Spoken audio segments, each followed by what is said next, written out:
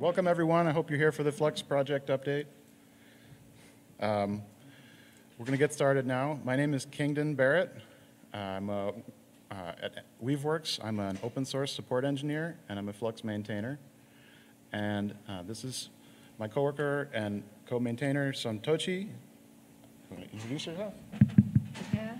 Hello, my name is Somtochi Onyekwere. Um, I'm a developer experience engineer at Weaveworks and a Flux maintainer. And we're just going to talk today about um, the state of Flux. We're, um, it's going to be fairly informal. Um, questions will be welcome at any time, and uh, let's get started. Sure. So um, the latest Flux update, I think, was Monday, Flux 0.36. And this uh, update, and my understanding, it rounds out our integration with Cosign. So now, if you want to verify your sources before you apply them to the cluster, you can use Cosign to do that, whether they are Helm charts or not, whether they're customized overlays. So this is big, big news, and it's great. Um, there's support for uh, both keyed and keyless Cosign integration. And uh, we have a list of other OCI-related features. I didn't mention OCI there, but the, uh, the bit that makes it work together with customized manifests is the OCI um, repository source support that was added in a few releases prior. Uh, so there's been a flurry of releases in the last few months. And I wanted to point, yep, I think it was that one, yep. Uh, this blog post that was, it's the top one on the fluxcd.io slash blog right now, has uh, the progression from 0.31 to 0.36. And uh, you can see at the top, or hopefully you can see, is this large enough? Here, do you want this one?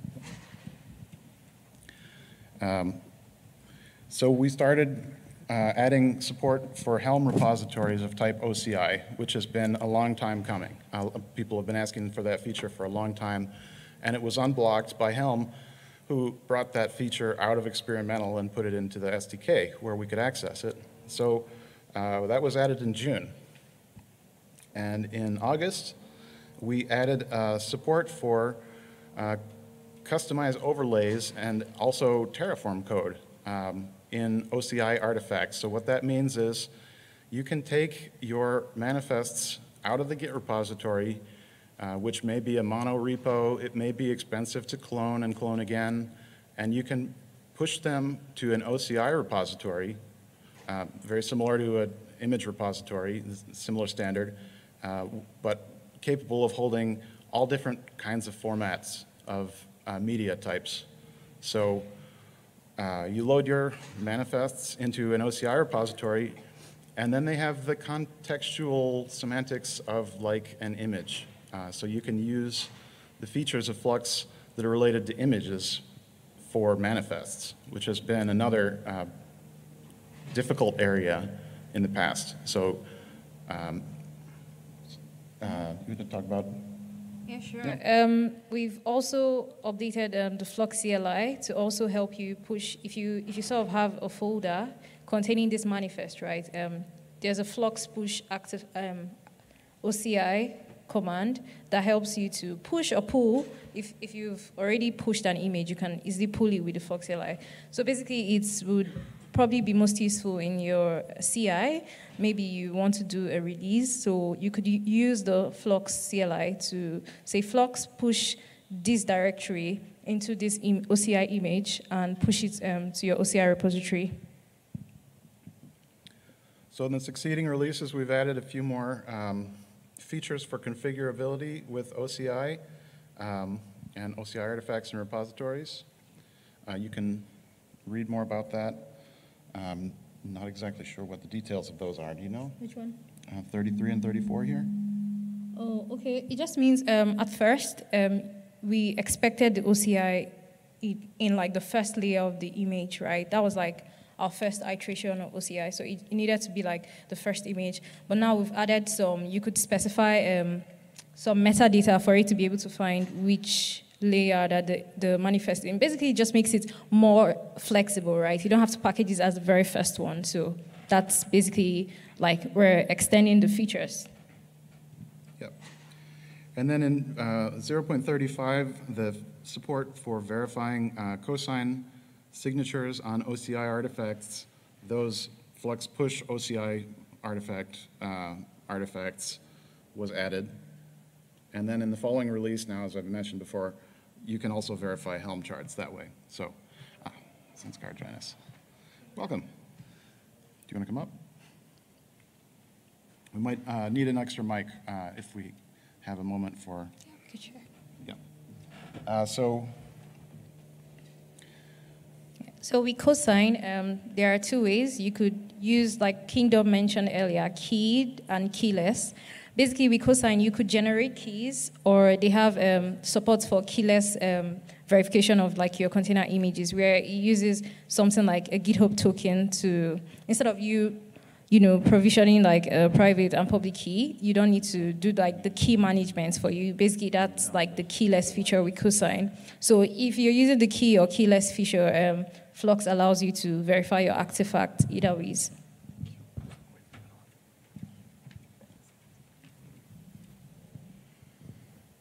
so I want to highlight uh, another thing that we've been working on is growing our contributor pool.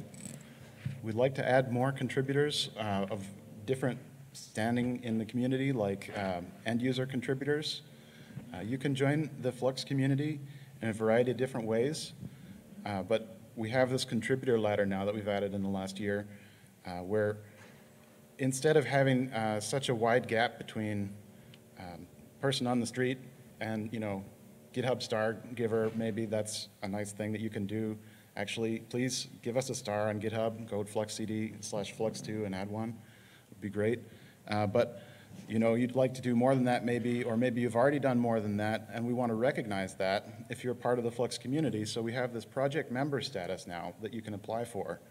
Um, you need two sponsors. Uh, they should be from two different companies. Uh, if, you, if you know a Flux maintainer or another Flux project member, anyone can be a sponsor. Um, and uh, we, we'd like to see as many people uh, are using Flux join us in the community and give us feedback. That would be great. So um, any kind of contribution really is welcome. And uh, we feel like you all here are pretty in a pretty good state to contribute to Flux because you know what's good with Flux and also what's wrong with Flux or what Flux fails to get right. So if you have any ideas about, you know, oh, Flux should be doing this instead of this, or you know, it'd be great if Flux could do that as well. Like just you know, try to create issues. Even that is a form of contribution. So we we really appreciate that as well. I think we also want to highlight that hopefully no one here is using version one of Flux, but we will be archiving the repo really soon. Um, I think we're still running migration workshops for people who want to migrate from the first Flux v1 to v2. Um, we've put in a lot of work to make sure there's feature parity between the two. And of course, V2 has been getting all the good new stuff. So if you're still on V1, please migrate. You could um, come around the Flux booth if you want uh, more details on like joining in on the migration workshop. So here's another thing on the website I want to highlight. This is the Flux roadmap. You can see right at the top, the focus is on production readiness, and um, we're moving in the direction of GA. We should hopefully be able to re release GA soon for certain definitions of soon. Um, we'll hopefully be graduating soon also. We have an application for graduation in the CNCF. We're hoping to open up the comment period um, as soon as KubeCon is over. Yeah, they decided that uh, we, we, they can't do it before KubeCon, so we have to wait until KubeCon gets over and then they'll open the, the comment period there's a lot of work that goes into KubeCon, and a lot of the people who are, um, their comments are necessary to make the uh, graduation process uh, meaningful. You know, we want to give space for them to think and give us meaningful feedback. So uh, that was a decision that the CNCF TOC made, and uh, we're looking forward to going moving towards graduation very soon. I think we also have a formalized RFC process now. Um, you could check slash RC folder in the Flux v2 repo. So you could see if you have a feature request, you we've basically formalized the process of you know submitting an RFC, getting reviews, getting it approved, tracking, tracking the various pull requests related to that RFC. So you could take a look to know oh, what are the current features we're trying to add in, or if you have something to add, you can also create an RFC. You can see here on the roadmap, uh, there are a few of the RFCs that we've already added. There are a few here for OCI. You can see whether they've been completed or not. I have a few more down here uh, towards security, and a few that haven't been finalized, uh, given a number yet. Uh, they- I think they get a number once they're accepted as an RFC by the Flux community, so. And also, so one of the RFCs, like two of the RFCs, I think, are about multi-tenancy, and they're right now blocked because, I mean, we, we can't reach a general consensus, or we, if we, even if we can, we're finding difficulty. So if you want to voice your opinion, how we, how you want to see multi-tenancy shape up in Flux, you feel feel free to like comment in the RFC or just reach out in the Slack or you know join a community meeting and bring up your concerns about how you want to do multi-tenancy in Flux. Yeah, uh, Sanskar just used the word um, consensus, by the way. Uh, For folks who are not familiar with the Flux governance model, it's a little bit different than some other projects in the CNCF, uh, where maybe a vote is necessary for any decision. Uh, In the Flux model, we actually try to obtain consensus from the entire group of maintainers um, who are involved in the decision. So if there isn't consensus, uh, generally, we won't move forward um, until there is consensus. We think that we should have consensus and, um, you know, broad consensus, rather than a tenuous, uh, vote-driven consensus. Um, What should we talk about next? Are there any questions at this point? Okay. Okay. Uh, we could talk about the uh, various Git improvements we have made over the last few months. Uh, so, as you know, uh, Git can be a bit tricky to get right because uh, you have SSH and HTTP. And what we have worked on uh, over the past few months is improving our support for Git. Uh, so we have uh, made it basically easier to contribute to any any of our Git packages. So if you go to fluxcd slash package, there is a Git package now. Uh, so earlier it used to be a bunch of spaghetti code. Uh, so for the last two three months we have been trying to refactor all of this out into a much more uh, good-looking shape. And we have also, if people are, uh, you know, like reading up on Flux after a long time, uh, DevOps, uh, Azure DevOps and Git uh, AWS code commit support, that has been improved uh, significantly because we have made some changes to how we clone repositories using libgit 2. So that that uh, majorly improves clone speeds and also memory and CPU usage. So you should. So if you are upgrading from something like I don't know point 0.25 or something, if you haven't upgrade, upgraded your Flux installation in a long time, and if you upgraded it to like I think 0.36 is the current one, 0.36, yeah. Uh, so if you upgrade it, uh, you'll you should see a, a, major difference in uh, time taken to clone repositories and overall CPU and memory usage of source controller. So I, I think um, if you use like Azure DevOps or AWS Code Commit, um, there's a PR out to basically, um, um, for those that use it, you know that we have a Git implementation field where you need to specify libgit2 uh, because that's what work with, works with those repositories. But there's been a PR out to make you work with GoGit, which is the usual default. So if you'd like to test it out, is is not in the release yet, but we have a pull request open and there's an image posted there. So if you you know like to try out our new stuff, you could go on there and test it out on your um, home clusters or wherever, and give us some feedback. So the RC is out. Uh, we can just pull it up. So like if you uh, if you ever wanna like uh, try some bleeding edge stuff, so we usually post our uh, RCs on the Flux contributors channel on Slack. So if you wanna try out some bleeding edge stuff and you know help us figure out whether we are moving in the right direction, uh, please try to use those RCs uh, RC images as well. Uh, you could easily do that using a Kustomization patch. Do you know which one? Yeah. Oh, it's this GoGit? Yeah, yeah. Okay.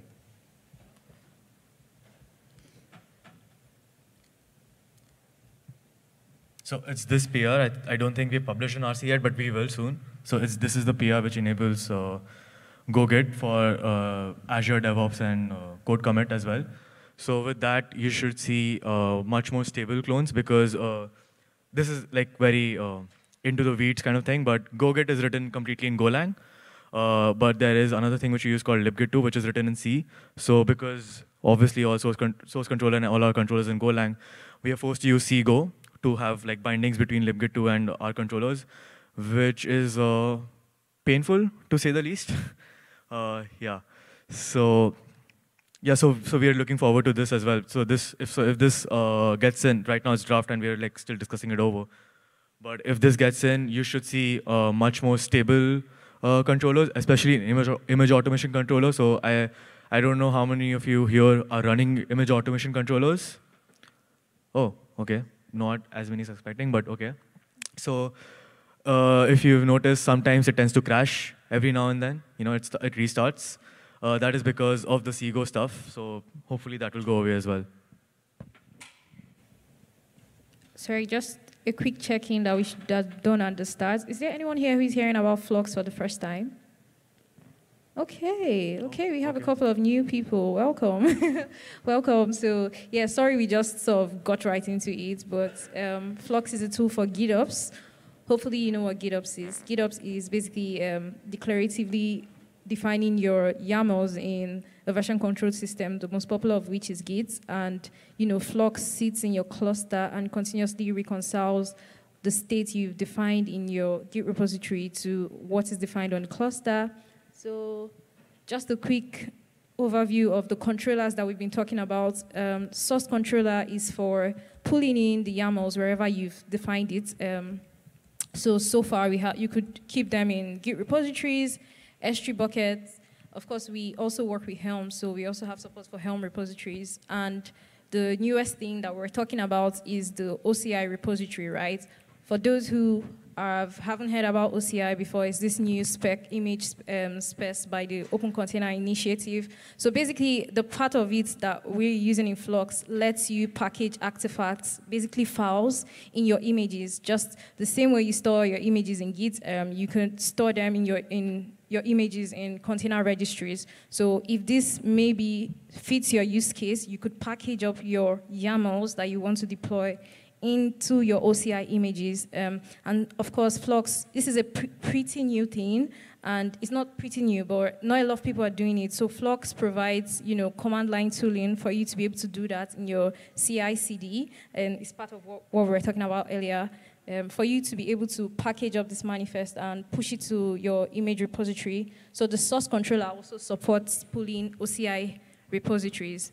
Um, Kustomize and Helm are, are, what we call appliers. Basically, they, they apply what source controller pulls in on the cluster. So if you are already using Kustomize or Helm, um, this will fit right into your workflow. Uh, the last three are the notification controller, which is basically for giving you updates in Slack, Discord. It could also post back to Git. Um, the commit status notification, the blue check you have beside your commits, Flux could also give you an update there, just so you could look at it and know that, oh, this commit deployed successfully. Um, the last two are the image repository and image automation controllers, which is basically for posting back to Git when, let's say, your CI deploys a new, tag, a new image tag, basically Flux can help you, instead of you going in there and trying to just update the image tag, um, Flux could do that for you. So that's just a quick rundown. There's not a lot of new people, but yeah, we're always happy to see new faces. So broadly, about the image automation, I just wanted to say, um, since image update automation is fairly complicated to get set up, I want to make it clear for everyone there's at least three different types of automation that we're talking about when we say automation in Flux. The first one is the basic continuous reconciling pull automation that is described in the GitOps principles. So there is a Git repository. We need to pull it periodically to see if there's a change, and when the change comes, we want to pull it into the cluster and notify anybody who's waiting to see if there's a change so that they can reconcile immediately and get our update. So that's the uh, entry-level automation that you get with Flux when you first install it. And the second type of automation that I would talk about is the image update automation that we've already mentioned. This is an automation that will help you commit a change to your repository when a new image comes. And The OCI support for automation, for uh, artifacts means now that you can use this type of automation with manifests, where before you could only use it with application images. So um, the way that this works is you write a comment in your YAML file that marks the line. It's called a KYAML setter. Um, and there's probably a good guide that we can show the example of. Um, and when you do that, and you connect the image API resources in the, in the fashion as described here in this Automate Image Update Guide, uh, you'll get a commit every time Flux notices a new image. Uh, so this can be a bit uh, clunky depending on your workflow. Like maybe, maybe this is exactly what you wanted because you have an audit requirement or because you have a rollback requirement and you need to be able to see a commit that you can roll back every time a change comes that is not good or so on. Uh, but the third type of automation that uh, maybe gets overlooked an awful lot is um, the source automation. And so this is actually a lot simpler to configure than the um, image update automation. It doesn't create a commit in the repo, um, or it doesn't spam your repo with commits, this may be another way to say it. Uh, what it will do, it will just monitor for those things according to a policy that you set. Uh, so let's look at the source uh, in the toolkit components, source controller. We look at the Git repository source. There's a similar section in the OCI repository source. You see the spec describes what, what is it that we're going to pull. And this one points at a ref for a branch master. So every time Flux reconciles, it's going to pull that branch, see if there's something new there, and update the artifact so that the downstreams can get it. But you don't have to pull from a branch. There are a lot of different ways to write the spec. You can write it with A tag a tag. and also a semver range. So if you want to make sure that you're always pulling from 1.0 point something or 1.0.3, whatever is the latest for you, you, you can do that. Uh, like Flux can filter out tags based on a Semver policy that you can define. And here's an example of that. Um, you imagine this says 1.2.x or an actual semver range. You can use greater than, less than symbols. The reference here that's linked is the uh, mastermind semver, so you can see uh, exactly what types of things you can say to get a different range of images, or maybe you just want any image, you can put a star in there, and you'll get the latest semver uh, that's a So- release. Yeah. I wanted to ask some uh, people here who here is evaluating, sorry, who here is evaluating using something other than YAML for your configs. So like, I don't know, CUElang or some kind of a Jsonnet kind of thing. So, okay. So there is a very good use case that we have uh, uh, kind of, you know, published here uh, with OCI support. Uh, so instead of, so right now, if you look at the state of Flux, uh, it's pretty simple. You have uh, a repository which, ha- which has to have a YAML manifest, right? Like some deployment or cluster IP services, right? Source controller will pull it and customized controller will apply it. Um, but what happens is that if you want to basically use something like CUElang, right, for to define your uh, Kubernetes state instead of YAML, uh, with OCI that's possible. Uh, so how that works is that uh, you have you define your CUElang files, right, in uh, in a Git repository, and what happens is uh, every time you push it, so every time you every time you push a change to your Git repository, you can have a CI process, right? That CI process can basically you in the CI process you can do like a CUElang build, so which will output the YAML that the CUElang uh, that the QLang files will output, right? And that that those YAML files can be packaged and using what Somtochi described using the CLI, right? You can do a Flux build, which will package those YAML files as an as an OCI artifact, and then you can do a Flux push, which will push it to a, a registry, an image registry, right? And then you can have an OCI repository uh, object in your cluster. So source controller will look at that Git repository and so say that, oh, there's a push here, so let me know, re- reconcile stuff because a change has happened. And then you have this OCI repository as well. So like, and that actually, you know, gets the YAML files, right? So now you have you have a Git repository. You're declaring your Kubernetes state not using YAML, using CUElang or you know whatever Jsonnet, right? But Flux can actually understand that because of this uh, compatibility with OCI because you can actually, you know, just like get the YAML out and give it to Flux uh, in CI because Flux doesn't care where it comes from as long as it it's available to it, it can reconcile it. So yeah, so that's a pretty good use case. And if you want to discuss more, we can talk about it more.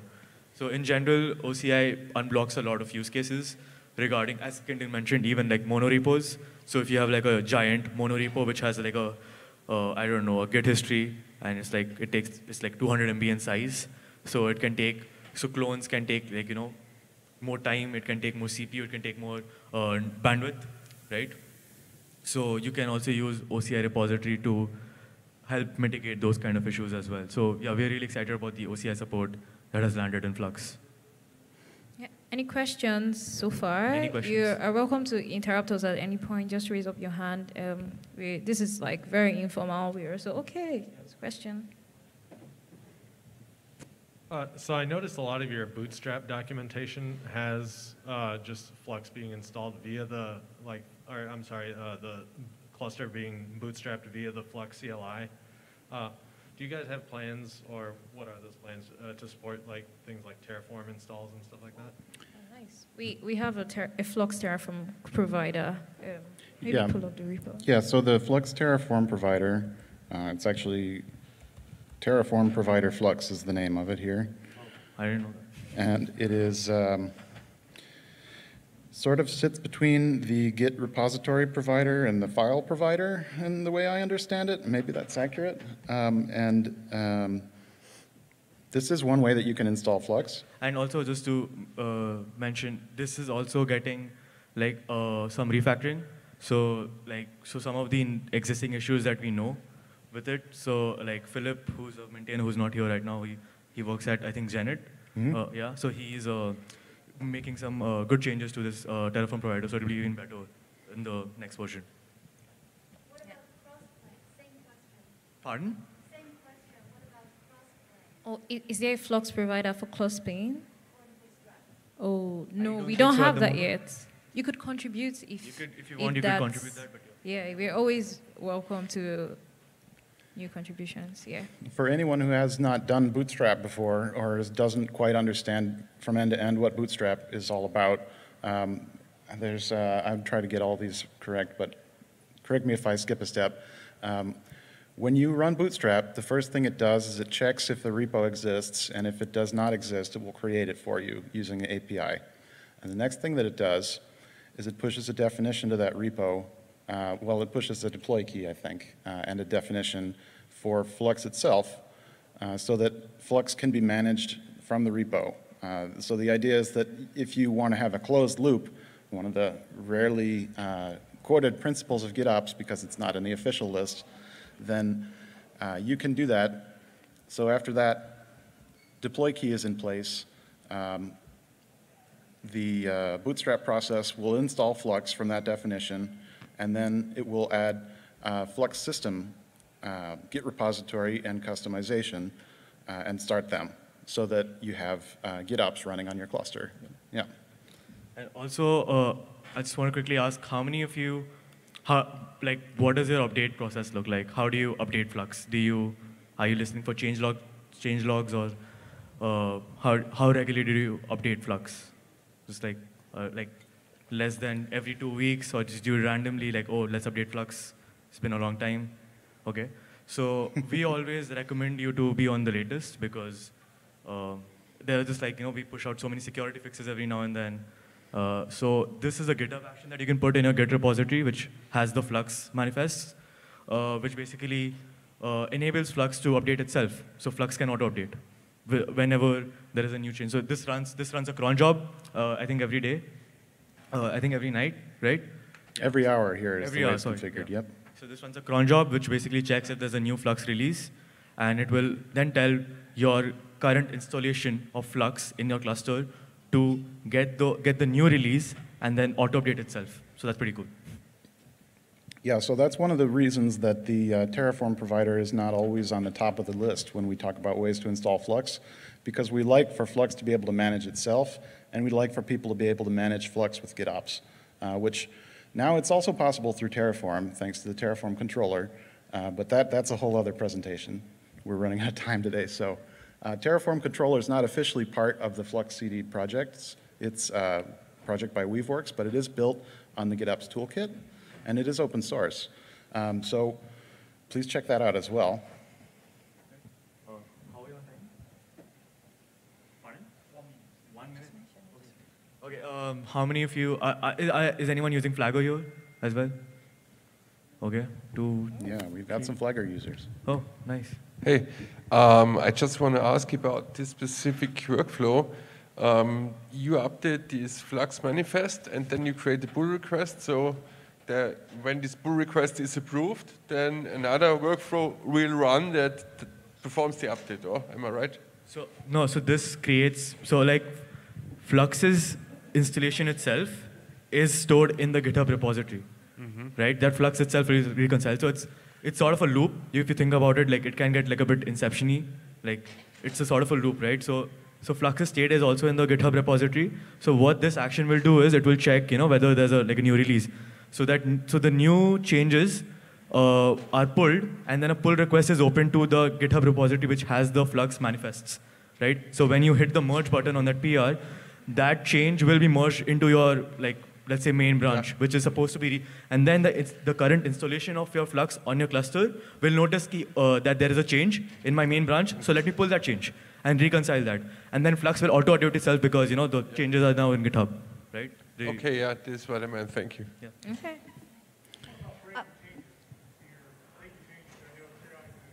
Yeah, that's why the PR, right? Like, it's not a, it's, it doesn't push. It, it creates a PR, so you can review the changes. A related question to the previous one, and you mentioned, is there a Flux way of de- install the Flux bootstrapping process? So, so very, um, before you upgrade, worry about the upgrade of Flux itself, um, the very initial install of Flux agent in the clusters, is there a Flux way of doing that? Yeah, there is the most Flux way. There are multiple ways you can install Flux in a cluster. The most Flux way, I would say, is using the CLI. So there is a Flux CLI. So you give it a kubeconfig, which, which is pointed towards your Kubernetes cluster. And then you run Flux Bootstrap. So that will essentially do everything Kingdon talked about. It will, inst- it will pull up the, it will create a GitHub repository for you if, you if one does not exist. And then it will pull up the manifests, and then it will apply those manifests and install Flux for you on the cluster. That is, I would say that is the most recommended way. If anyone yeah. has more questions, If you have any questions, just we reach, have the Flux, before the, the Flux booth, and there's the CNCF Flux channel where you can reach us. Um, And thanks, everyone, for coming today. I hope you have a great you. KubeCon. Thank you.